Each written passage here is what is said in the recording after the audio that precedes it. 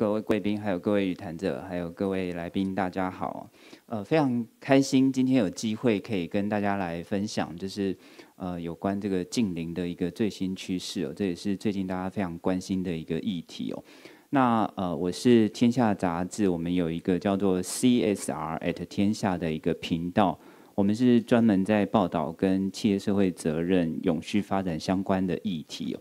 那今年的 COP 二十六，我们有一位同仁也前往英国去实地采访，那也带回了一些我们觉得非常珍贵的第一手的这个讯息哦。那有机会再跟大家分享。那刚结束的这个 COP 二十六，大家都有看到非常重要的呃三个趋势。第一个就是确定，就是大家要挑战这个呃，应该说尽力要达成这个一点五度 C 升温的这个目标。那还有一个是跟我们接下来这个场次啊非常相关的这个议题，就是脱煤。那这是第一次，就是把这个从呃煤煤电厂还有煤炭的投资，呃离开我们国家还有产业标准的一个非常重要的决议哦。那这个决议呢，会对接下来的产业转型还有气候变迁法相关的因应带来非常大的一个。呃，刺激跟冲击哦，那所以呃，今天主办单位非常呃用心的安排了三位呃主谈人来跟大家分享国内的相关的政策。那接下来我们就请呃，就是再把这个时间交还给我们司仪，那请三位这个分享者来跟我们分享最新的一个状况。谢谢。谢谢黄总编辑。接下来我们邀请第一位语坛贵宾。金金管会证券期货局张正山局长上台为我们语谈，让我们掌声欢迎张局长。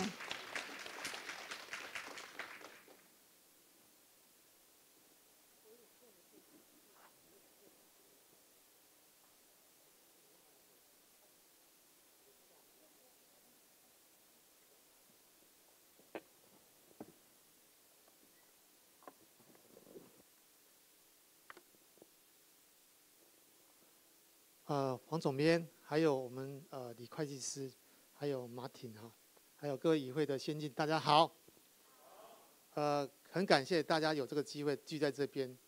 外面非常的寒冷，但是这里面应该是很热才对。那我们当然，我今天的呃主题，呃会跟大家做一个介绍。目前我们对这种呃临近临转型的世界里头，我们整个对产业有什么样的契机跟机会？那也是我们金管会目前。主要首推的工作之一的，因为里头有一个 ESG，那其实代表的整个我们的环境、社会跟公司治理的话题，在我们去年八月的时候，我们就有发布一系列的，例如啊绿色金融二点零，还有公司治理三点零，就是永续发展。所以它的题目其实定位的很清楚，就要谈永续这个话题。所以我想我今天呢，大家跟借这个机会跟大家就说明一下。整个呃金管会对这种呃碳的问题或者永续的话题做了一些琢磨的地方，跟大家做一个说明跟介绍。那当然这页你看到的是整个呃环境的风险，ESG 的第一个字是一哈，环境气候。那这个是我们目前来讲整个会里面的一个重要的工作之一。那我们所看到的这个呃世世界经济论坛里头所定义出来的，目前来讲。大概全球在去年的时候就发生过五大的风险的风险类别的事项。那你会看到，在这个右手边这个图里面有一个圈圈，大概就是你现在左手边看到的这九项。那这几项其实就是等同告诉大家，全球目前用啊把它四项分配图做出来之后，发现最严重就是这九项，例如极端的气候，还有气候行动、天然灾害。还有生物多样化、人为，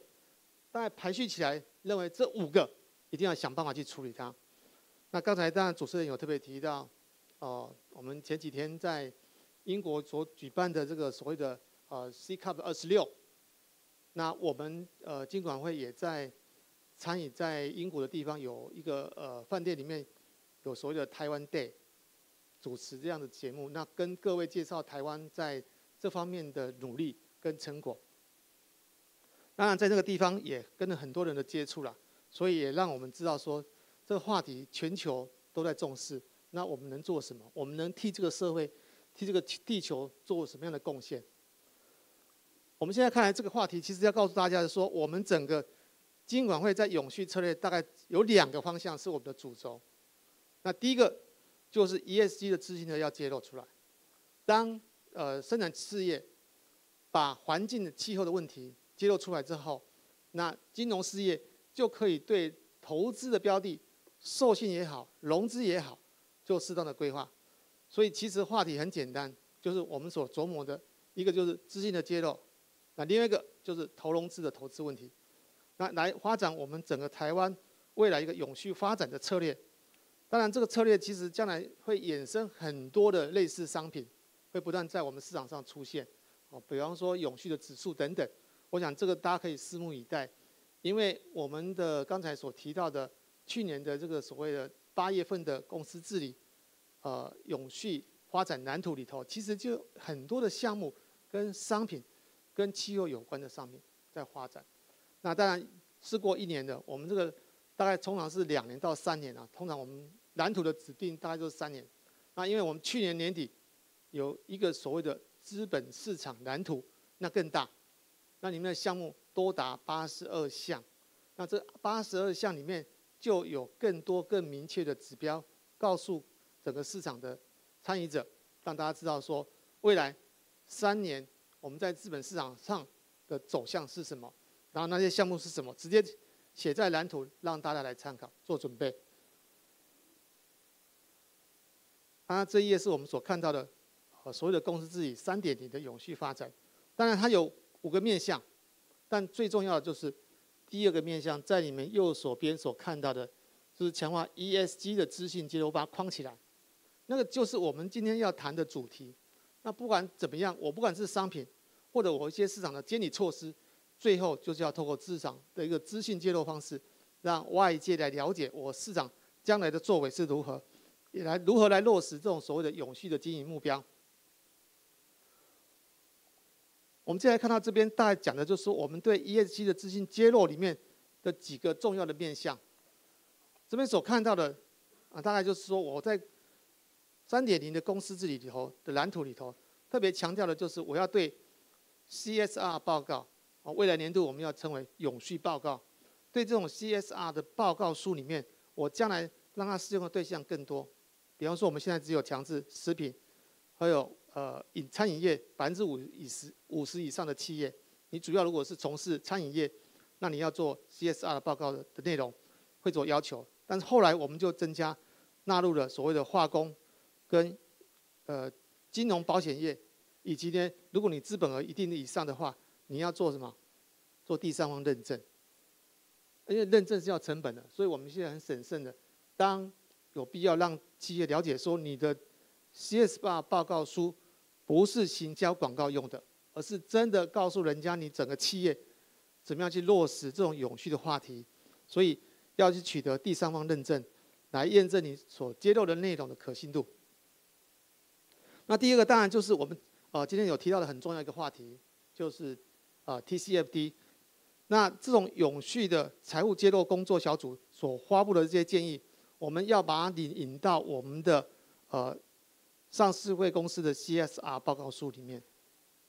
我们大概明年的六月会把这个内容，因为这个整个研究报告会在今年年底 final。那明年的六月会让我们的上市会公司的揭露就要。到位，也就是说，我们今年这个月十二月份，我们一个年报编制准则年报 （annual report），就是你开股东会的时候要提出来的。换句话说，你到明年六月的时候，你就会用到这个资讯，而且在你的年报里面要去揭露，告诉人家你对于气候、对这种所谓的所谓的温室气体的话题，你的财务揭露的资讯状况是如何，让外界知道。而，不止投资人需要知道。这些金融机构，他也想知道，当他对你的授信或融资，他也要掌握这些状况。到底你的公司，在这种呃所谓的呃，比方说刚刚讲的温室气体的排放状况是如何，让大家取得这个资讯。那第三个就是扩大适用范围，刚才所讲的食品、化工、金融保险，还有我们目前来讲是你的实收资本额超过五十亿以上的公司，五十亿。那但是我们下阶段在二零。二三年，二零二三年开始就变成资本额二十亿以上的上市公司，你就要去撰写你的社会责任报告书，让大家了解你对这个公司在整个我们的社会里头，在我们的市场里头，你如何定位落实永续的话题。每一家公司的角度都不一样，每一家公司要定位的地方也都不一样。好，不管你是一个建设公司也好，你是一个实体的生产化工也好，那你要定位你的社会责任是什么？可能每一家公司的负责人要去仔细思考，哎，到底我们对这个永续话题，我们应该琢磨在哪一个地方？好，不是过往我们所听到的，哎，我可能花个一百万，找位会计师帮我写个报告，啊，这个的话就会造成大家对。啊，很多的认知会有误差，因为会计师究竟不是最高的管理当局，所以你公司怎么样定位，你势必要让大家充分了解你，你是公司负责人，那你怎么样让公司的社会责任落实在哪一个角度去出发点？好，这个是我想在来年我们就会看得到了。那接下来可能要讲的就是 TCFD，那 TCFD 我想这个这些内容我就不再多。深入的跟大家做介绍，因为它整个是我们让大家了解说，比方说，呃，如果呃气温升为二二度的话，那你的公司到底有怎么样的成本？比方说电费你会花多少？那你的减碳产品，你的这些服务的项目营营收会不会受到冲击？这些东西有一点是呃比较偏呃直化的概念，直化的概念。等一下后面有一个 SaaS 比。那这个部分就完全偏量化的概念，所以这个部分必须让企业了解说，当一个呃 TCFD 成立这种工作小组之后，如果我们明年六月的时候要真正导入的时候，那你企业怎么准准备？所以今年的半年其实是很重要的。那我们会在今年十二月所发布的年报之后，后续再持续发布所谓的指引，因为很多企业可能不见得。知道怎么表表达，或者怎么样去找这些资料，我们后面又有一系列的呃指引的这种范例，让企业来参考。而且同时，在我想在明年初开始，会在北中南有一系列的系列跟上市贵公司做一个宣导，让大家了解。那你在年报的时候遇到 TCFD 这个话题，你要怎么撰写？会有范本给大家做参考，也方便大家在表达在年报的监制上怎么样精准的到位。那接下来我们看到的 TCMD 里面所讲的这个核心四个话题，我想大家应该都很熟悉的。比方说，第一个讲治理，那其实讲别的就是，你有没有办法做辨别？当气候在变迁的时候，那你对你公司有没有影响？你至少要去评估它。那之后呢，第二个讲的当然是讲的是一个策略。那其实它就是一种情境的概念。我们的法规会要求你，你要怎么应应？如同发生天灾的。那你如何去做呃阴影这个措施？你必须要想自己期要想清楚，我将来有这些问题的时候，我怎么样去阴影？那第三个讲的是风险管理，那当然是一种评估这些所谓的呃气候变迁的冲击对你公司的营运或者财务有怎么样的影响？你当然要要知道去模拟了解大概有什么样的影响。那最后一个当然是指标，那指标不外的，你怎么样去设定你的减量排碳？或者你干脆做一个转型等等，这个都是你需要将来要面临的话题。那这个话题讲的是呃呃，莎士比刚所讲的，我们有这么多的产业，有十一个产业，有七十七个所所谓的行业。那这些产业行业，不管你是哪一个行业，你一定会有一些，它有二十六个问题要你去去评论。所以这二十六个是问题，也不是在我们的左手边的最下面这边有告诉你。我们的了解，在一个企业大概碰到二到九个话题，你要回应。哦，比方说你是半导体，我想下一个月我就谈半导体的话题，那你可能有哪些事项你要做注意？这个举例，每一个企业都要了解你的产业所面临的风险位置在哪里，哪些事项是你的关键因素。所以我刚才特别提到莎士比，它其实就如同我怎么样把它这些量化的信息对外提供。让我们对所有的上市贵公司、同业的，我刚才讲的同业之间可以做比较性，或者是各讲各的、各讲各的调，我们没办法做市场的一致性的比较，这是一个非常重要的这个政策措施。所以我们看一下下一页里头，在这一页里头的呃左手边这边有一系列，大概有九个话题，就是我以半导体业来看，它就有这几个话题你要去注意的。所以二十六个问题不会全部都适用，大家一定要先前的认知，就是说它可能是不管你是什么行业，我们算过大概在二到九个不会跨过两位数。所以你要对对你的话题里头，你哪些问题你可能要去开始去收集或准备工作，因为这些数据将来要提供的话，也不是顺手可以取得。好，你要对公司企业的状况有深度的掌握。那这九个话题我就不再一一陈述。那接下来我们看到的，在一页机的这个话题里头，大概目前我们所归纳出来，一个就是呃 TCFD，一个是 SASB，就如同我刚刚所讲的，啊 TCFD 比较偏向。值的性质的资讯，但是莎士比就比较偏量化的资讯，那这个东西都要呃提早做一些准备工作。那接下来我们看到了，我们现在目前的资讯接入大概只有两个管道，一个是年报，另外一个就是 CSR 报告书。那刚才 CSR 报告书我有讲过了，五十亿以上的或者是食品啊、金融、化工是要去强制要被编制甚至认证。那左手边这个年报，那就是所有的上市贵公司。新贵公开发行公司，你都要适用哦。所以这个年报的部分，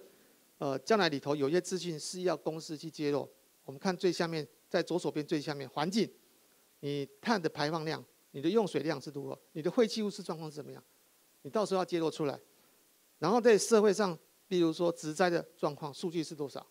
然后呃，女性职员的状况，还有高阶主管的占比等等，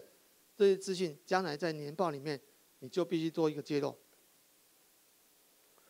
那我们再来看一下年报的编制里头，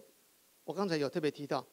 大概十二页我们的法规大概就定案了，预告完成之后，后面会有一系列的指引来告诉你这几个话题你怎么样做揭露。我想这个等同，呃，要大家稍微再等待一下，也许呃十月底或者是一月份，在对外宣导会上就会来说明这些内容的编制附表，你怎么样去做填报或怎么样去处理。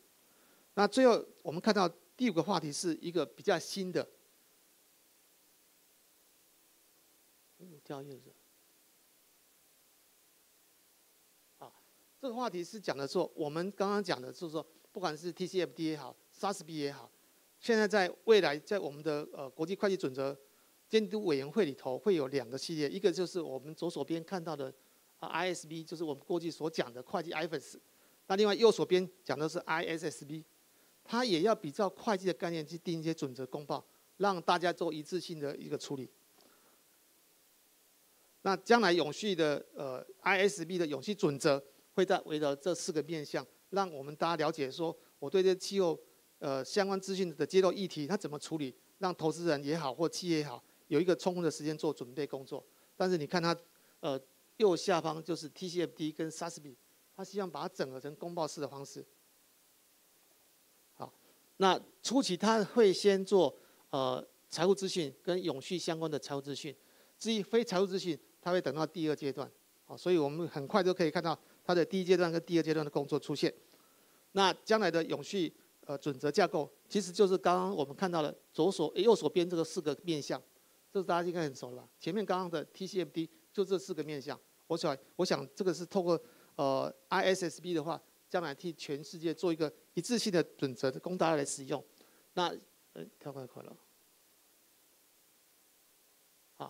那这个其实就也是一样，那四个面向将来在公报中，在准则的这些永续准则的架构里面，怎么样去产制出来？呃，时间关系，我大概很简要的跟大家这个说明。我想这个很重要的就是 ESG 是企业的呃 DNA 很重要的，所以永地球的永续需要我们大家一起携手来努力。感谢，谢谢。谢谢张局长，现在有请。资诚永续发展服务公司李怡桦董事长上台为我们进行语谈，谢谢，让我们掌声欢迎李董事长。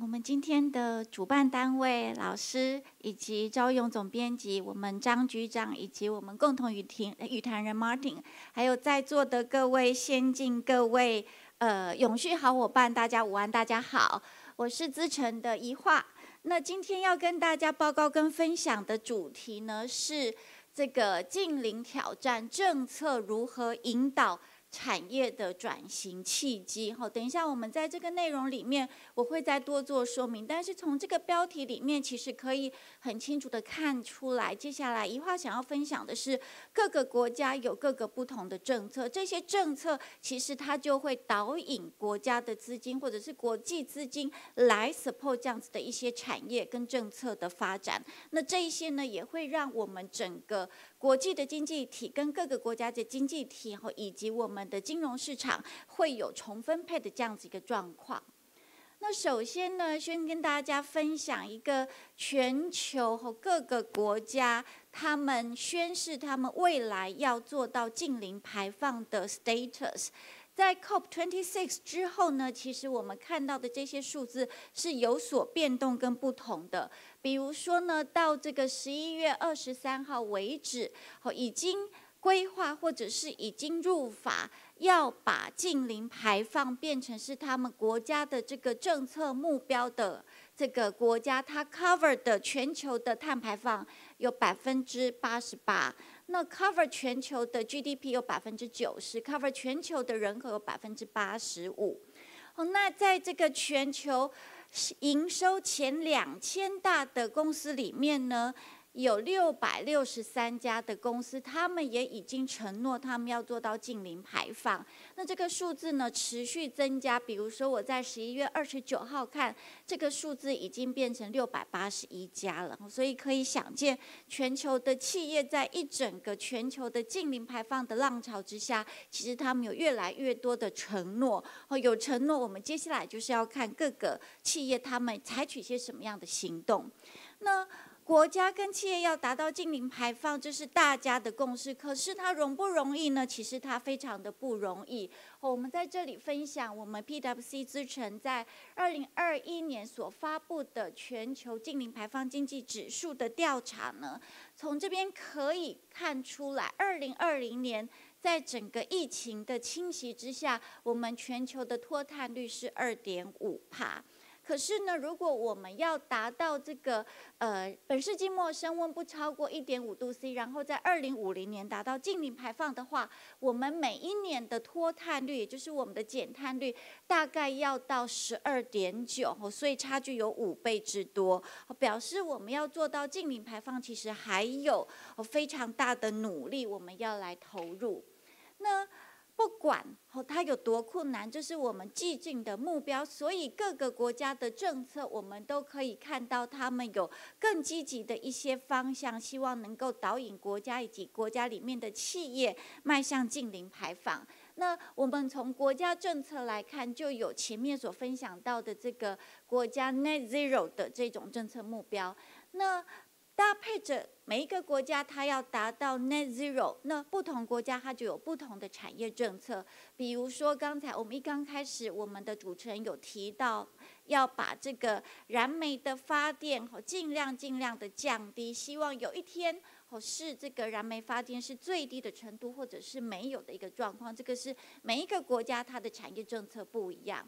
那再来呢，这一些近邻的政策也影响到国际贸易哈。这个相对应的政策，就比如像是欧盟的这个碳边境调整机制，那这些都是国家在达到近零排放的目标之下，他们所定出来的一些政策。那这些政策呢，就会影响产业的发展。产业会往哪边靠拢呢？它就会往除碳或者是负碳科技的开发。会往更多的再生能源或者是清洁能源的使用以及开发。那在这个占了全球碳排很大比例的运输跟建筑，哦，也都有不断推陈出新的法规，要求这一些运输是要做低碳运输，运具要低碳运具，或者是建筑物必须要去低碳的建筑。那这个就会影响到这个每一个国家的产业发展。那政策变动、产业板块重整、金融的市场，当然它就会跟着变动。因为政策之所在，就是资金之所在，资金之所在，自然就会有一些金融市场，它必须除了要挹注资金来协助这些产业达成他们自己的目标以及国家政策以外呢，有这样的这个金融商品的投入，比如说投资人针对这些产业来做投资，或者是来。做放款，好，那因为这样子的一个低碳的产业的发展，投资人的投资效益也能够显现，哦，所以是一方面引导产业往这个低碳的这个境界来发展，一方面投资人也能够获取相对应的报酬，所以呢，整个金融市场它也会跟着变动。那我们接下来再用一些就是案例的分享来跟大家说明一下，为什么政策以及政策怎么样去影响我们的产业的版图的改变。哦，比如说我们在这张图要跟大家分享是不同的国家它有不同的关闭燃煤电厂的这个时间政策，那它有停止贩售燃油车的时间的政策，那。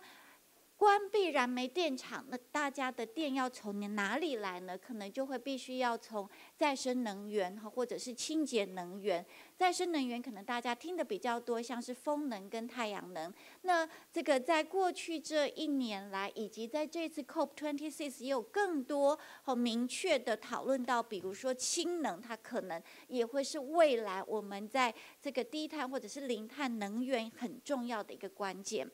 那如果呢不能够再卖燃油汽车，那如果还是需要车辆的话，那它可能就会是一个电动车的产业的机会，而且这个。车子它不是只有最后卖车的，比如说福斯、Toyota 等等哈，一整个电动车它的产业，比如说这个充电的机装，比如说我们上面讲到的再生能源的这个布电、布线等等的，这些都是一整个产业价值链它的这个机会。所以气候变迁跟我们前面讲到的很多的政策，不是只有增加企业的成本而已，它也带给企业额外。的营收额外的获利的机会，为什么呢？我们可以看到，在前面讲的禁止贩售燃油汽车的政策之下。各个汽车大厂它就有相对应的动作。我们举例来说，像 Volkswagen，它就有宣布，在二零三零年，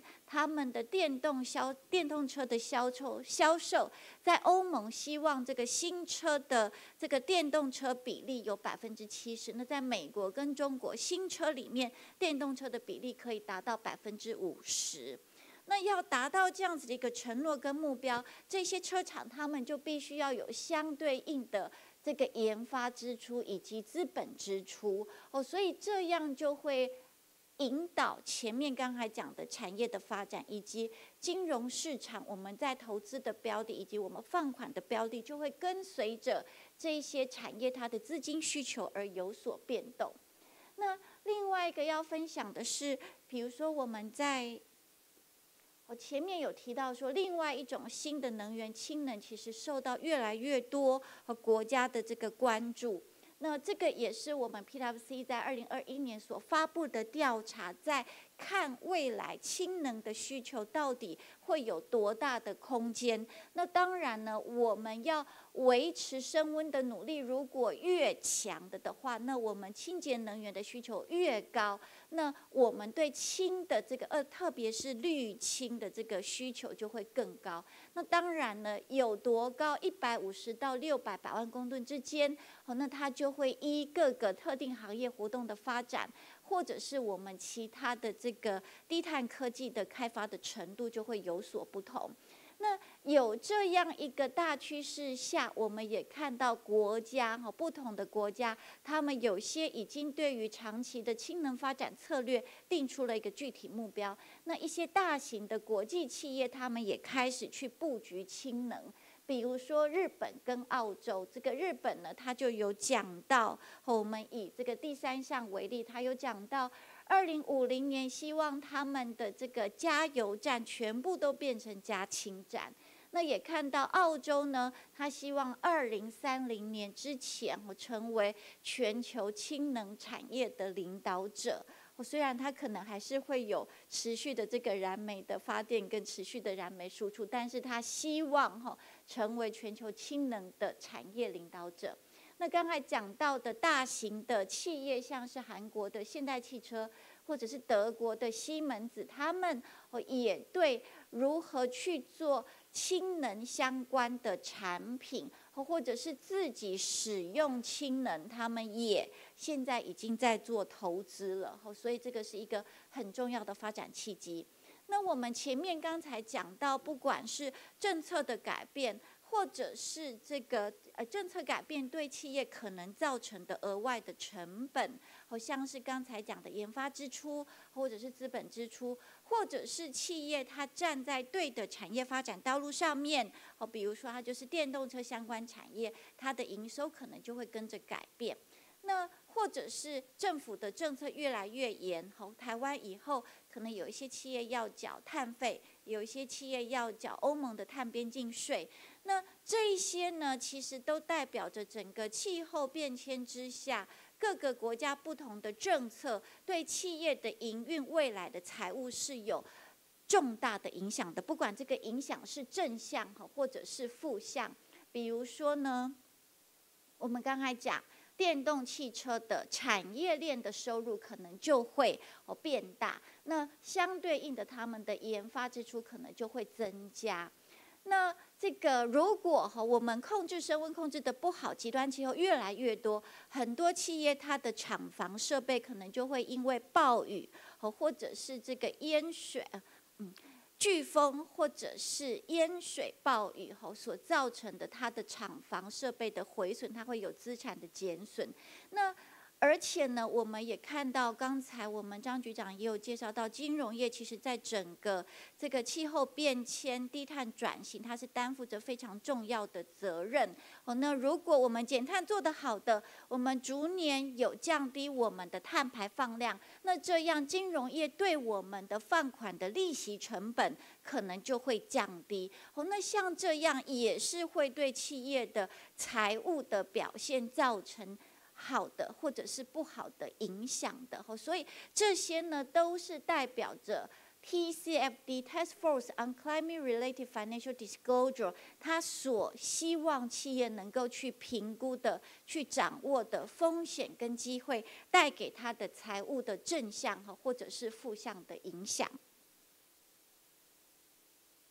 那这也是我们哈认为 TCFD。如同刚才张局长所讲到的，我们国家政策和未来会持续的这个希望企业要求企业要依照 TCFD 这个国际标准来揭露企业在这个气候变迁应应上面的风险跟机会的财务影响。那国际的趋势也是一样，因为呢，在整个全球碳定价以及碳贸易兴起的状况之下，TCFD 它是一个完整的架构，让企业去收纳它要。因应这样的趋势，它必须要了解自己的这个呃温室气体的排放的状况，了解他自己产品的碳的碳足迹的状况，然后定定相对应的减碳的目标，不管是生产营运减碳，或者是他的产品碳足迹要去减碳。定出这些目标，要达成这些目标，他都必须要有公司的一整个 top down，从董事会、董事长、总经理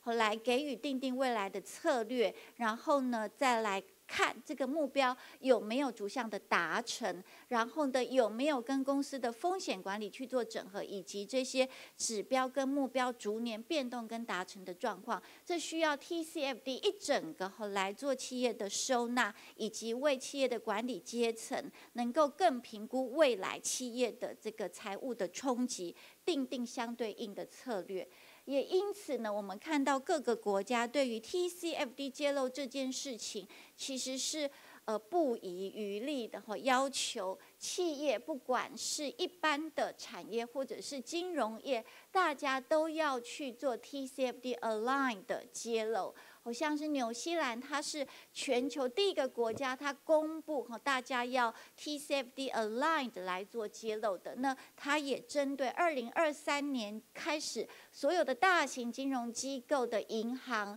然后资产管理公司、保险业者都必须要做这个 TCFD 这个 aligned 揭露。欧盟啊、英国、巴西等等这些国家也都有相对应的规定。好，那在我们这个亚洲，像是香港、日本、新加坡，或这个也都有 TCFD 揭露的要求。那台湾当然，我们刚才张局长已经说过了，我这边就不再说明。那这边呢，我们就是再进一步的跟大家分析分享到，像英国针对不同的企业以及不同的金融业的类别，以及他自己的这个主权或者是国家的退休养老基金，它也都定出 TCFD 揭露的时间表了。好，所以呢，回到最后这张总结，哈，这个 TCFD 它是一个会诊的架构，所以呢。如果我们每一个企业，包括金融业跟一般产业，都能够把气候变迁对企业的财务的影响的风险跟机会分析出来。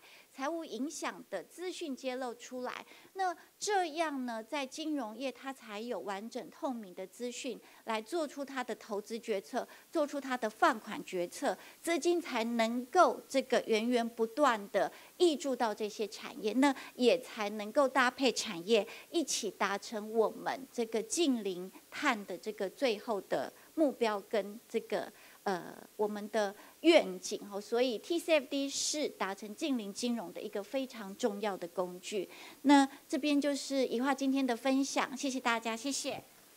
谢谢李董事长。接下来有请三五零台湾 Martin 协调员上台为我们进行语谈，让我们掌声欢迎 Martin。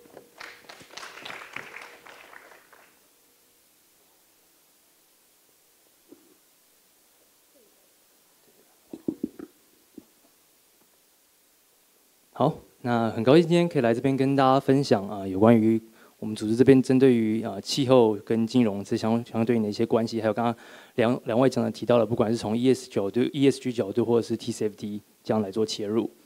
那想说一开始呢，先简单介绍一下我们组织到底在做什么，跟组织本身的意涵背后到底在啊发展什么样的讯息，跟想要达成什么样的理念。那简单来说，呃，三五零这个数字，这个组织其实来自于是美国的一个 NGO，一个非营利组织。那基本上啊，是从二零零八年成立的。那当时成立的这个初期呢，啊，也是一个针对于你要说科学研究嘛，那个背景知识，呃，而发起的一个专案啊，或是一个计划。那他想要说的是呢，当时在呃这边写的二零零八年就已经意识到气候变迁这个问题，那是希望呢去减少空气中的二氧化二氧化碳含量。那在那个框架之下。他们就找到说，哎，好像如果可以把这个空气的升温，或者说这个空气中的二氧化碳浓度控制在三百五十 ppm 的话，那就可以达到对于人、对环境比较好的一个生活环境。那如果大家对这个数字有点抽象的话，呃，可能可以去连接到我们在二零呃一五这个巴黎协议所谓的这个呃全球升温要控制在这个世纪啊两度 C，最好是一点五度 C 这个目标。那其实这样的目标也跟这个三百五十是相对应的啊，都是等于是相对应的一个概念。那针对这个议题呢，组织那时候开始在想说，那如果我们想要达到这目标的话，该从哪里下手？该怎么样去改变？那当时他们就发现说，其实，在讲碳排放这件事情，来源最大的一个呃产业别，也就是能源产业。所以组织希望可以从能源产业下手啊，试图去做一些改变，试试图去做一些调整。那在这框架之下呢，当时从美国开始啊创立，就开始发机，延续的到这边写了一百八十几个国家，包括台湾这边是一个其中一个据点啊，是一个伙伴。那讲能源或许有点含糊，或许不是很明确到底是什么东西，所以我们在试图在更深入的去探讨说，那如果是能源产业的话，那到底是谁？到底是什么东西？那在这框架之下呢，我们就发觉说，我们其实基本上想要去针对的、想要去探讨的，就是画面这边写的化石燃料产业。那化石燃料产业这个词或许很巨大，那其实很多人或许在一些场合都会看到一些相对应的公司跟企业。那我们这边在讲的，其实也蛮多，都是针对于最最最上游的，好，等于就是。拥有那些啊，不管是挖矿权哦，或是油田啊，或是一些煤矿的这个电厂啊的一些企业跟公司，那或许图片中大家可能有看过，像是啊右上这边这样的壳牌啊，或是刚才提到像 BP 啊，都是属于这样的一个啊所谓的能源公司或是化石燃料产业的，基本上是最上游的角色。那在这个框架之下呢，组织想要去做的事情，就试图去影响他们去做个转型，去做个改变。早期呢，啊，可能就可能跟大家想象得到的是很多啊环环境团体都会去做的事情啊，不管是直接现场到这个暗场啊，这边在德国的赫煤厂去做阻挠、去做抗议的这个阶段。那当时就把这样的运动称为堵路运动 （blockadia） 啊，去试图让这些的运作减缓啊，甚甚至停工。那当然，有些暗场不在啊陆内陆，可能在海边啊，像这边在西雅图的外港这边，这个后面的专用平台啊，即将被这个运至到阿拉斯加做探勘的石油探勘的动作。那这边就很多这个划着独木舟的市民去路过啊，这个暗场是阻挠它的前进，试图去减缓这个案子的发生，甚至可以被它延期取消。那在进行这些早期在进行这些运动的当中，或许有效，或许没有效，但是大家也很。快的意识到一件事情，并不是每个人都住在这些案场旁边，所以怎么样可以去参与这样的运动，或怎么样可以更有效的去让这些案件不被发生，去促使这些啊或沈阳产业转型，似乎需要一些不同的方式。所以在这样的一个变变化的过程当中，大家就发现说，好，那有没有可能我们去找到或者去了解这些案场啊背后的金流是谁？有没有可能去做改变？有点是接续刚刚上一位讲者说的，哎。金融没有改变，很难改变了世界。那这边也是，如果金融没有改变到这些暗场的金流的话，这些暗场势必还是会发生，只是快跟慢的差别而已。那如果我们可以找到它并把它截断的话，那或许有些别的方式可以做不同的倡议。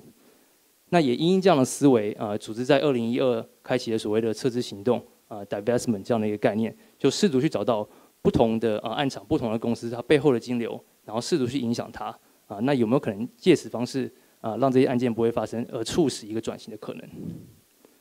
那截至今日啊，最近的数据看到，其实全球已经大概有四十兆美元的金额啊，所谓的撤离的化石燃料产业。那这样的一个你要说努力吗？啊，来自于很多不同的机构跟产业别啊，不管是这边最大众的，其实是来自于宗教团体啊，所以这个还蛮有趣的，来来自于宗教团体啊去做这样的一个行为。那其实大家如果仔细想一下，不会觉得太奇怪啊。如果在场的人有信任何宗教的话。那你就会意识到说，其实大部分宗教都是劝人为善，那也都是希望对未来，不管是自己或是未来的下一代，有一个好的福祉，有个好的一个环境可以去做生存。那基于这样的一个概念，其实大部分的宗教都蛮愿意在理解到这样的概念之后，去重新检视自己宗教的，不管是募款经营的一些基金啊，或是一些其他，如果他们有在做一些投融资的话，是否可以去做一些规范啊，去做一些线索，达到这样的目的，他们都还蛮愿意去参与的。所以。呃，长久以来，从二零一二到现在，在执行这样的任务，最大量的还是来自于呃宗教机构。那再来呢，是呃，就是我们现在在场这边的学校啊，高等教育机构啊，也也有在执行这样的任务。那同样的，有如宗教团体，他们都是希望可以对于不管是在地的社群、社会、整个国家，甚至国际层面，有一个正面的一个从学术界的角度啊，站在这个你要所谓的历史正正确的一方，去为这样的一个议题发声啊，去甚至是做一些努力。那第三个这边呢是呃一些基金会，那可能是在关注于环境议题，也可能是关注于人权议题。那同样的也是比较像是一个呃试图让社会议题被关注、被重视，甚至开始自己执行的一个身份地位。那第三个呢，哎不是第四个呢，就是我们的政府机关啊。所以其实国际上也越来越多的政府机关从不同的角度去切入，试图用政策的力量啊，犹如第一位讲者所说的啊，开始建立一些机制去试图。啊，让我们纳税人的钱不要投入到啊所谓的化石燃料产业，继续加剧汽油变迁。那呃，因这样的状况呢，呃，组织在大约在二零一七年做了一个重整，说好，那如果是这样的一个情形，有些不同的这个倡议方式，我们到底要干嘛？到底要怎么去推进这个议题？那总结呢，基本上大方向还是没有变，就还是希望可以尽早的停止使用化石燃料，啊，尽可能转向使用百分之百再生能源，啊，在全球的这个尺度。以智能可以去啊对衡啊这个气候变迁的议题，在二零五零之前，那在这框架之下呢，基本上我们会走三个分支去做行动。第一个呢是希望可以有一个快速且公平正义的能源转型，迈向百分之百的再生能源。那在这个框架之下，呃，其实组织很想去强调的点，是因为它是希望是一个快，但是是希望是公平正义的。啊，可能大家近期听到很多，不管是风力也好，不管是啊太阳能也好，或是其他的绿能，或许也是在用可能过往的一些。呃，化石燃料在发展的速度或是尺度，去影响到不管是环境啊，或是人人人的居住也好，那我组织的角度来说，也是希望这样的事情不要发生。发展绿能是好事，但是并有没有办法在过程中对环境跟对人造成的破坏是少的，甚至是可以帮助原本在化石燃料产业的这些人事物做一个很好的一个转型的机制。那大家如果要回想的话，可能会想到像之前啊，台湾的高速公路这边在换那个我们的电子系统，这些国道的这个收费员。他们基本上就是被时代或者被科技替换的一批人。那有没有用一个好的机制，可以让他们的下一步、下个阶段有好的一个 transition，就是一个很重要的事情。那同样的这件事情，我们也是希望可以发生在再生能源转型上面啊，从一个全球尺度去看待它。那第二件事情呢，呃，针对于刚才讲到想要去影响的或想要产产业的开发案，就希望可以再停止任何新的开发案的发生啊，因为刚才讲到，哎，如果要继续对应气候变迁的问题的话，势必需要减少碳排放。那如果碳排放最大来源是化石燃料产业，那势必需要减少他们的暗场的被新建起来。所以第二个这样的任务还是会持续的进行。以组织的角度来说，那第三个呢，就讲到我们今天在讲的很大一个重点，怎么去连接金融工具、政策啊行为到气候变迁，就必须去正视啊怎么样可以去减少资助化石燃料产业这样的一个行为，以至于不要让这些产业继续可以被壮大，继续发展下去。那刚刚讲这么多东西，比较多都是偏向于可能国际的尺度，整个组织的思维在运作。那焦点把它拉回到台湾这边，我们在做的事情到底是什么？那跟经验主义有什么关系？基本上台湾这边啊，三五零台湾这里是大约在二零一六年创立。那当时希望的目的就是希望可以把第三个主题啊，去怎么去连接钱跟气候变迁这样的议题带入到台湾，甚至可以采取一些行动啊，试图从不同的角度，产官学社都可以做一些努力，试图做一些改变。那早期呢，我们就开始做一些研究啊，不管是针对于政府端的一些所谓的化石燃料补贴啊，有一些稍稍的了解，去了解说到底政府在这个议题上有做什么样的角度去切入。我们刚才讲的是用一些金融的呃金管会的角度去做切入，去可能去啊了解金融业者是否可以做一些管控机制。那另外一边所谓的这边提到的化石燃料补贴这样的一些状况，不管说我们的油电费啊，不管说我们的道路新建费、离岛游船等等等。各种各样的一些机制跟内容是否有被顾及到啊？是否被重新检视？有没有更好的一个重新分配的方法啊？这都是我们当时在试图去了解的事情。那除了做研究之外呢，我们也开始陆陆续续呃走上街头，开始跟民众互动，试图去跟大众了解说，哎，到底有多少人知道这个议题？到底有多少人在意这个议题？那我相信在这种在座大家或多或少都对这个事情有些关注、有些了解。可是，在当时呃，我们在二零一七年的时候，其实大部分人对这个概念是缺乏的。甚至我们谈到私部门的时候，大家可能对于金融业怎么去运作都没有想象啊，可能也不知道是什么一说怎么一回事啊。大家可能只知道是我把钱放里面，我需要领钱的时候可以拿出来就好了。但是银行这个它的商业模式跟背后的运作的价值是什么？其实很多人不知道。所以我们在呃二零一七年的活动开始的时候，就觉得哎，是不是应该真的是让大家更有对这件事情有意识啊？不单只是说对于呃金融跟气候变迁，甚至对金融本身都应该有更多的一些了解。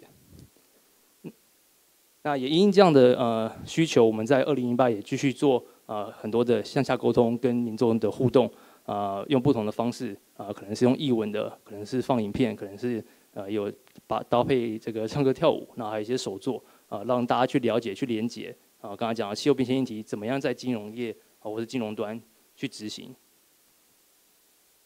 那另外一个呃可能跟今天的场合非常有关系，就是说我们也希望可以去从。刚刚讲的这个，在执行所谓的撤资运动的前三大的之一，学校这边去做切入啊，去了解说，如果学校有这个所谓的校务基金的应用的时候，是否可以建立一些比较好的机制去控管这些钱啊的应用方向跟方式。也因此，我们在二零一八的时候有建立一个呃所谓的校园撤资手册啊，试图把这样的概念让更多学生知道，然后有一些简单的一二三四五步骤啊，让大家可以试图去执行。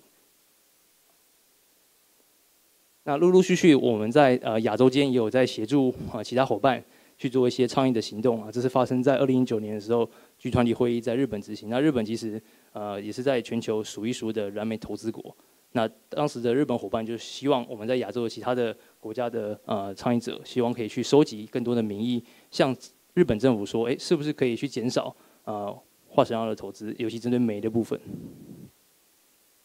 那当然，这可能大家在二零一九也知道，我们的呃七优八科行动也非常多的呃场次啊跟场域在进行。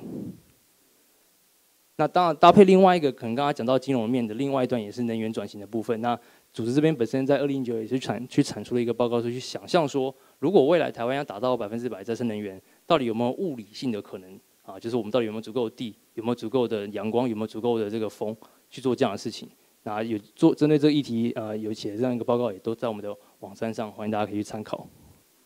那持续的，刚刚产出了这个手册之后，我们也在陆陆续续跟不同的学校，啊，从北从中到南，都有跟学校的合作，去让大家知道说，哎，这个议题到底是什么呢？是不是有可能大家可以把这个议题带入自己的学校去做探讨、去做研究，甚至是呃让学校的这个行政机关有所改变？那也很高兴的，这个在其实在这边，在台大这边啊，也在一年多前啊有这样的一个成果，让台大的这个校金重新的被检视，甚至也在呃组织的 USR 报告中被纳入进去，成为一个啊其中一个条目需要去做检视的。那我们也把这样的过程。把它记录了下来。那持续的不单只是学校这边，我们陆陆续续的跟社会大众去做沟通，去让大家了解这个议题到底是什么，大家可以如何用自己的力量啊，去跟自己的金融单位沟通，去促使自自己的金融单位去做一些改变。所以我们陆陆续续的发展了不同的呃联署倡议的机制啊，不管是个人的联署，或者是组织的联署，哦不是，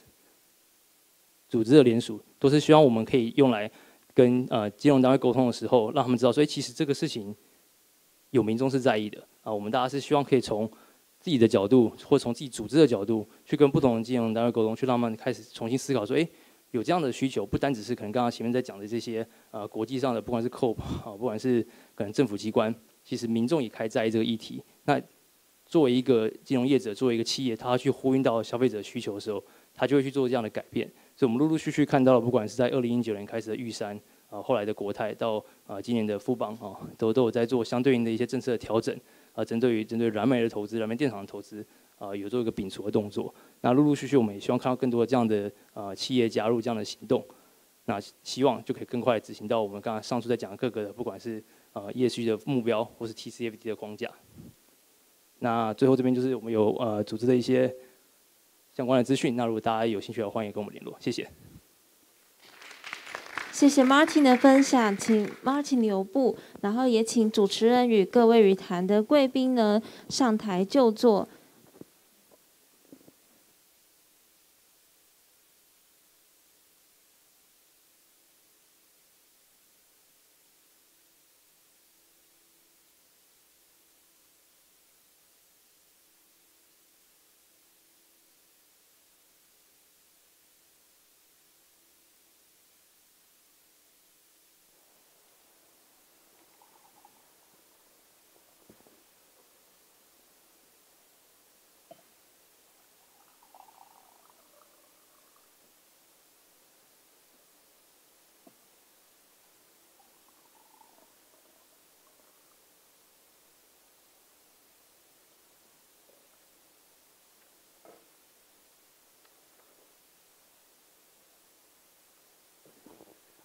非常感谢三位讲者精彩的分享哦。那刚才我们也听到，就是呃，针对这个金融面，尤其是资金的移动，其实它带来非常大的影响。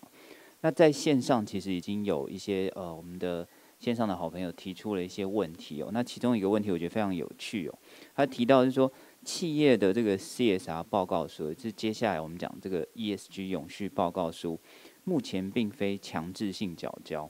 那针对这个漂绿的问题日益严重，我们有什么机制跟数据化的评断标准得以防止这样子的一个行为哦？那刚才局长其实有提到，就是今年底我们会有一个年报的一个相关的编制规范哦。但我想要请教大家，就是请教三位讲者，就是第一个针对这个漂绿啊，或者说现在还有这个漂漂彩虹、漂各式各样的永续议题，那将来我们对这个资讯的呃。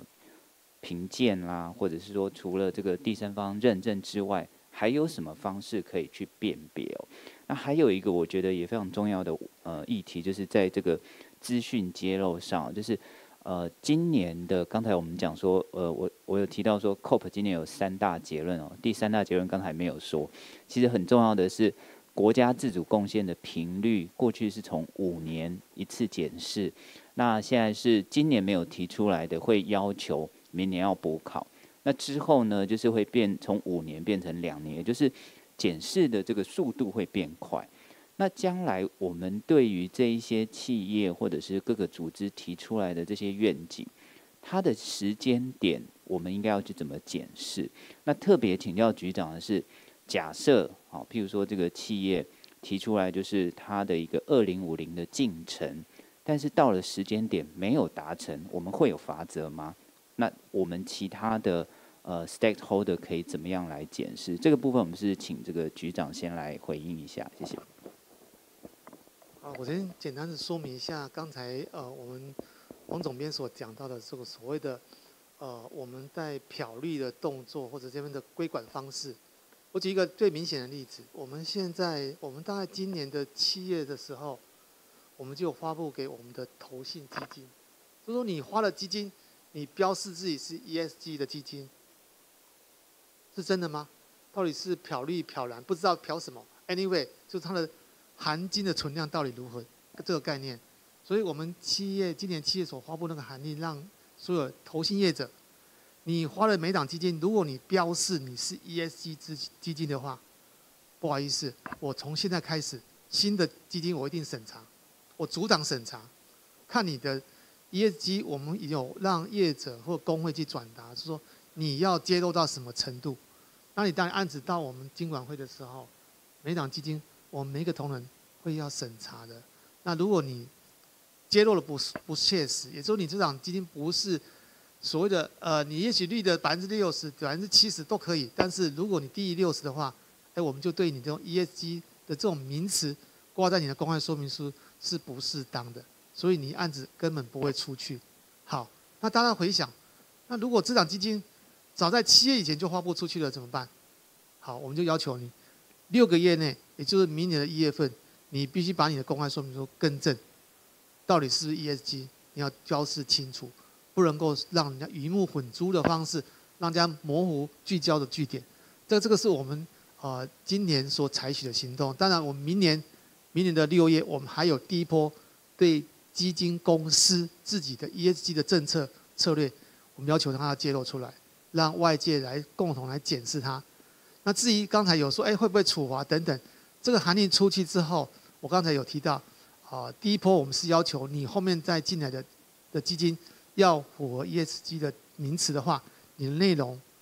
含金量要足够。那我也给你六个月的时间，到明年的一月让你更正，已经发出去要更正。那后面呢，你来大概不会通过了。如果你是呃有一点刚刚讲漂绿的动作，大概不会通过。那我要再进一步解释的就是说，我们对于漂绿这个话题，其实在经管会本会里头，就有一个所谓的哦，我们的呃，所谓的永类分类标准，啊，分类标准，这种永续分类标准，当然现在只有针对呃建设业、不动产、还有建筑业以及运输跟仓储这三个行业有帮他定义出来。那会不会扩大？我想先从三个业的产业的状况，我们再来看要不要再扩大到其他产业去。但是看起来这个扩大。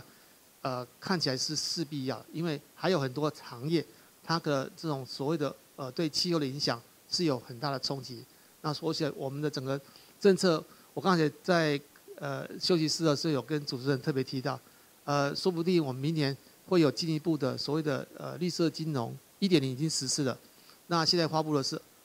绿色金融二点零，我想很快的也许有绿色金融三点零产制出来，到时候大家可以看到我们。整个国家政府政策在这种气候变迁的部分，我们的琢磨的重点，先简单说说明。好，谢谢局长。那同样的问题来请教这个宜化董事长，就是除了这个漂绿，呃，国际上我们是怎么样看？那当然，呃，你们的角色就非常的重要了。作为这个第三方认证机构的把关的执行者之一哦，那我呃，我想要把这个漂绿的这个问题呢，就结合我们这个读者他们呃。观众提出来的第三个问题就是气候相关投资组合，它的风险值要怎么样去衡量？然后这一些呃气候相关的资产，我们有办法给它做一个定价吗？就是一个是漂绿的问题，假设没有漂绿的问题，那气候的风险要怎么样去做一个衡量？还有资产可以怎么样定价？我们来请教宜化董事长。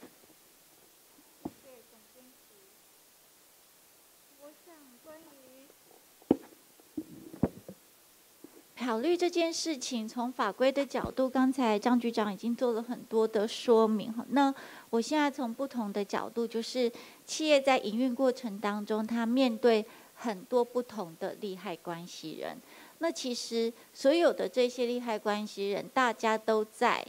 监督跟看这企业它有没有第一个，他有没有做出承诺？第二个，他如何去达成他的承诺？第三个，就是他有没有达成承诺？那这么多利害关系人里面，刚才张局长讲了这个主管机关的部分。那现在刚才有提到很多金融业，不管是银行或者是投资人，他们在放款或者是他们在投资的时候，他们也会特别去注意这家公司它的 EAG 表现。所以银行它会有它自己的。一些评估机制，当然这些评估机制可能也包括了请呃第三方查证业者来帮银行或者是投资人来看这一家公司它所揭露的 EAG 的资讯，我到底是不是适当的？那再来就是客户他也会要求他的供应商要有相关资讯的揭露。那客户在看 EAG 资讯的揭露，他一样哈，他也会注意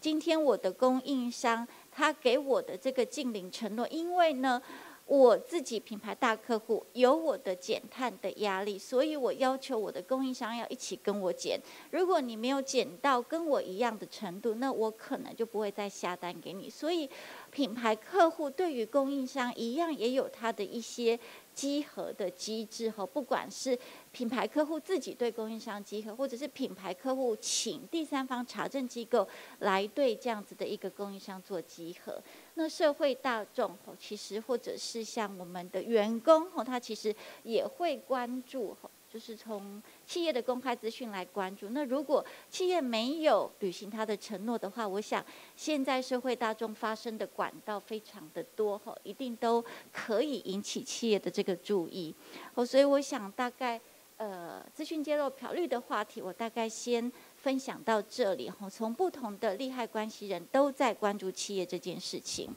那讲到气候相关投资组合风险，只要怎么样客观衡量，以及它的指标跟定价，我想这个议题它其实非常的大吼，那它也不是一件非常容易做到的事情，因为不同的投资机构，它对 A 企业本身的风险到底是第一、第二、第三、第四、五。这五个等级，大家其实都有不一样的评断标准。比如说，现在就有很多 EAG 的评比机构，它在同样评一家企业的时候，有一些评比公司，它特别注重它的这个公司治理的表现；有一些评比公司特别注重过去的绩效；有一些评比公司特别注重未来的规划以及它的政策的这个拟定。以及它的资讯的透明性，所以呢，本来这个就会依据不同的这个投资人或金融机构，它对不同的部位 portfolio，它会有不同的这个嗯风险的定义跟风险的排序。所以我想，客观这件事情可能还是回到各个这个评比机构，他想要的是什么，他关注的是什么，他就有他自己的这个评比的结果。那这样子的评比的后续，可能就会是它的气候相关资产如何定价的这个问题啊。那我想这个定价的问题呢，也是会回到各个投资人他愿意花多少钱买这家公司。以前在还没有 EAG 或者是减碳的这个议题之下。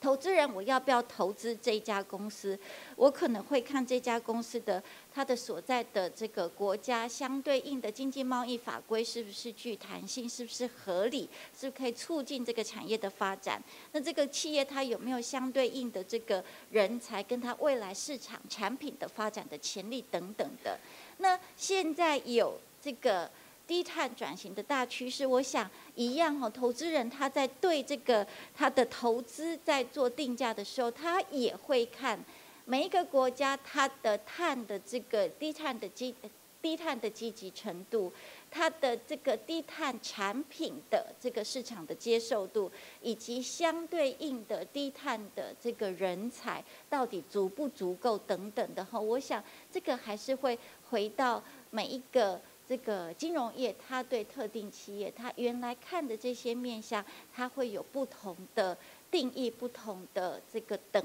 级，然后就会得出它不同的 pricing 的 model。我想大概会是这样的一个运作。好，谢谢宜化董事长哦。那我觉得延续这个这个议题哦，同样是在谈这个漂绿哦。那呃，今年当然这个在三五零的协助之下，我觉得台大的撤资其实达到一定程度的效果。我们今年的这个六月份的股东会旺季，台塑就宣布了他们二零二五年要呃停产一次性的这个塑胶。那当然，这个从时间点来看，这个。呃，从化石燃料产业撤资的这个效果是存在的，但是我也蛮好奇的。除了这个，想要请教 Martin，你们怎么看漂绿这个问题？我也想要来请教，就是在呃要求或者是说呼吁撤资上，那到底这个化石或者说石化产业这些企业啊，譬如说它的营收要占到石化产业的多少？哦，譬如说百分之五还是百分之五十？你们才会去 name 这个公司，说希望大家撤资吗？好，那其实我们说在讲这一题，其实会拿一个很简单的比喻在看待它。应该在场可能不管自己有尝试过，或是朋友认识的，应该都有做过这件事情，叫做减肥。哦，就是你今天要减肥，基本上就是要减少你卡路里。那你要减少你卡路里的热量摄取的时候，你有两种方式。你要么你今天吃少一点，啊，就不要吃那些造成高卡路里的咸酥鸡、珍珠奶茶。那另外一件事情呢，你可能会去运动，上瑜伽课，报名健身课啊，然后去做跑步等等等。那在这个情形之下，整体来说，你的卡路里每天都应该是要是减少的，都是要负的。你如果吃多少，你应该可能要把它跑更多，把它跑掉。那我们用同样的基准去看金融业，也是一样的状况。大家可能在不管是外墙上、公车上、捷运站，都有各种的这个金融单位在说他们在哪里投资的再生能源啊。投资了多少低碳能源这样的一些行为跟行动，那从组织的角度在看待这件事情，绝对是好的，绝对是一个好的事情。但是可能大家不知道的事情，在另外一端看不到的是，他们在可能同样的地方或在不同的地方，同样在注入一些化石燃料产业的投资。他可能在越南，可能在呃东欧，可能在别的地方，都有在进行不管是石油探勘、挖矿啊，或是石油专专测等等等这样的行为跟行动。那这个东西是不会被拿出来讲的。那我们想要去探讨，就是说，刚才讲到漂绿这件事情，我们到底有多少事情是摆出来让消费者知道，说哦，我们都做得非常的好。就好像你今天你朋友跟你说，我我今天我刚刚跑到操场跑了五圈，哦，然后说好，那我们等下去吃咸酥鸡吧。那你吃咸酥鸡那个热量有没有高于你跑掉热量？不知道，因为这可能又牵扯到刚才讲这个透明度的事情，因为根本没有揭露，我们只揭露了我们做好的事情，没有揭露好像做的没有那么好的事情。所以，对于组织来说，在看待这一题，就会希望可以把这样的咨询，陆陆续续的让消费者或者让这个主管机关去知道这样的状况。那相对应，它就需要一些标准。那刚才有问到标准这件事情，其实我们在跟金融单位沟通的时候，就会希望把这些标准跟大家分享。那其实国际上都有各式各样的标准跟方式来去做检视，来去做筛检啊。不管是我们可能有听过像负面筛选的方式，我们直接列一个表，把一些不好的啊，或者我们觉得。所谓的化石燃料高碳排的产业全部列出来，跟全球前两百大的煤、石油、天然气产业比，啊，或是暗场，那希望金融大家去有所避免，不管是在哪一种金融产品之下，债券基金啊，可能刚刚都有提到。那另外一种方式呢，可能是用刚刚提到的是趴数的部分，可能一家一企业，它在做发展的时候，它可能有百分之二十三十的营收来自于化石燃料产业。可能我今天我这家公司做机械的，我我专门产齿轮，可是我这个齿轮是卖给谁？我是卖给电动车吗？还是卖给专油机台？那在这个框架之下，它就会必须备受检视。那金融业在检视它的时候，可能就会把它列入为拒绝往来户。那因为它的营收大部分的齿轮是卖给化石燃料产业别的，而用这样的一些基准别去探探探判断说啊，是否这样是需要做一个调整，在投融资或者其他的一些呃金融合作上面。那最后的部分是我们自己组织也在从以及刚才有讲到这样第三方的角度。试图去做一些相对应的评比，呃，可以让不单只是金融业者，接下来是可以让消费者看到说，如果我们用一些比较简单的叙述方式去评判说，在哦刚刚讲到这个业界，台湾的金融业者去比较说，他们在针对这个议题，实际上有做一些什么样的规范，跟目前做到努力到什么程度，用一个简单的评分评比机制，让大家知道的时候，或许可以让更多人可以去一来重视这个议题，二来可以让金融业者可以互相去。呃，检视这个事情，那这个就我们接下来会在可能呃，差不多年底啊，年底或是明年初会去做这样一个出版这样子，对，谢谢。好，谢谢 Martin。所以我们年底已经有两件事情可以期待，一个是这个新的年报准则哦，一个是这个呃三五零这边他们可能可以来做一个第三方评比的一个相关资讯哦。那不管是呃这两个，其实都牵涉到这个资讯揭露还有透明度的问题哦。那刚好我们的这个呃线上的朋友有提出这个第五题，就是提到说企业在做这个 TCFD 或导入 TCFD 会需要。不同的部会提供各式各样的资料，像是呃用水用电啦，或者是再生能源，那才有可能去做好这个相关的财务评估。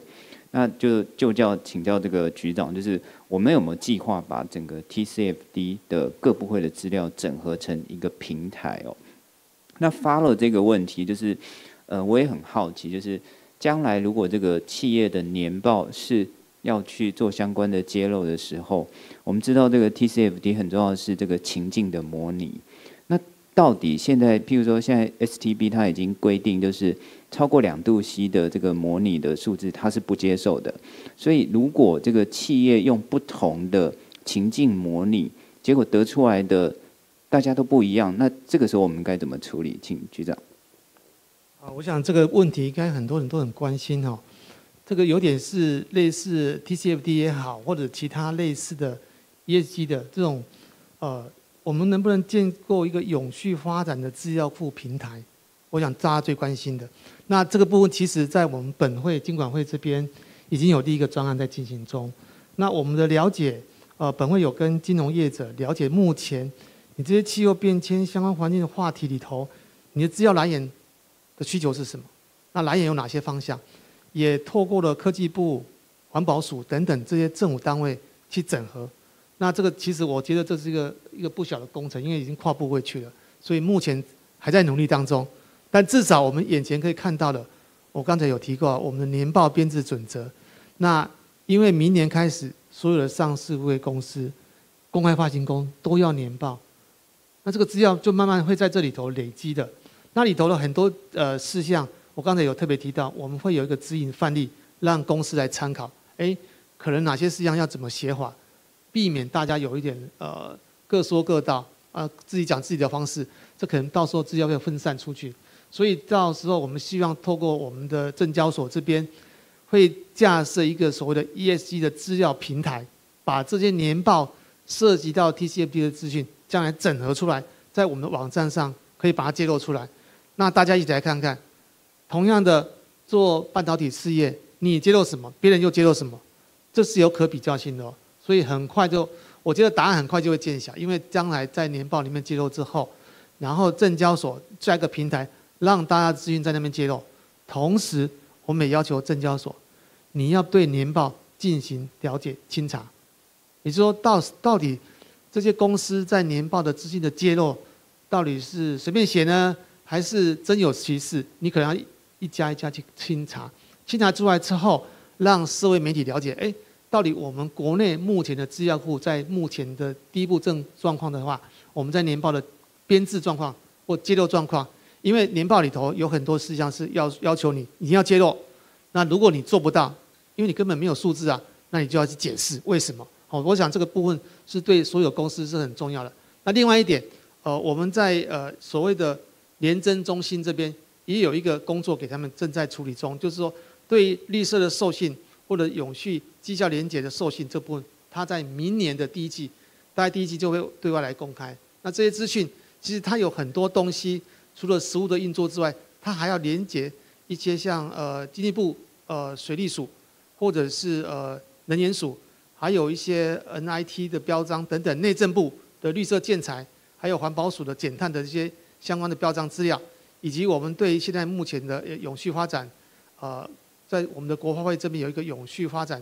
呃，奖章的这些资料，慢慢的这些名单或资料都要提供出来，把它连接。那当然我们现在现在我现在所看到去查的结果，目前大概只有呃环保署的那个呃所谓的才华资料，以及内政部的劳工的这种退休金的资料状况。但是后面随着时间经过，我们会把资料库慢慢累积出来之后，也可以提供给外界来做参考。大概以这样的说明。好，谢谢局长。那因为我们这个论坛的这个场次的时间已经到了，但是最后我还是想要请这个 Martin 哦，代代表我们社会大众还有 NGO 来许愿，就是我们希望这个将来这个整合性的 ESG 资料库里面还应该要有一些什么样的讯息？我觉得其实像这些资讯其实都存在。那我们其实，在跟很多金融业交涉的过程当中，陆陆续续都听到很多一些。呃，我觉得应该让更多大众知道的一些内容啦。那那只是变成说，当这些内容被试出来的时候，是否是一般消费者可以用来评判做基准的一个决策工具跟一些评判标准？我觉得其实才是大家去思考的事情。因为我们其实，在跟很多大众在沟通的时候，包括我像像大家可以自己想一下，如果你有信用卡的话，你为什么办那张信用卡？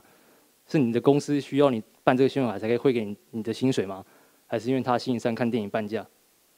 就是大家现在在使用金融服务的那个需求点跟要求到底是什么？那这些需求点跟要求能不能呼应到今天在讲的主题跟经营谈判有关系？那那样的资讯怎么样可以被试出来在这些平台上面？我觉得其实是一个大家可能接下去要去思考一点，而不是放很多或许很专业的术语，可是其实一般消费者没有办法做一个评判标准，那就很难发挥市场的力量去导向我们想要看到的一个未来。马婷提到的就是说，这个很多的数据出来之后，还要大家能够看得懂。那我相信这个就是将来一化董事长还有他的支撑团队，一定可以给大家非常好的服务。大家有什么问题都可以来找他们哦。那非常感谢大家这个场次的呃收听，谢谢。谢谢各位贵宾带来精彩的语谈。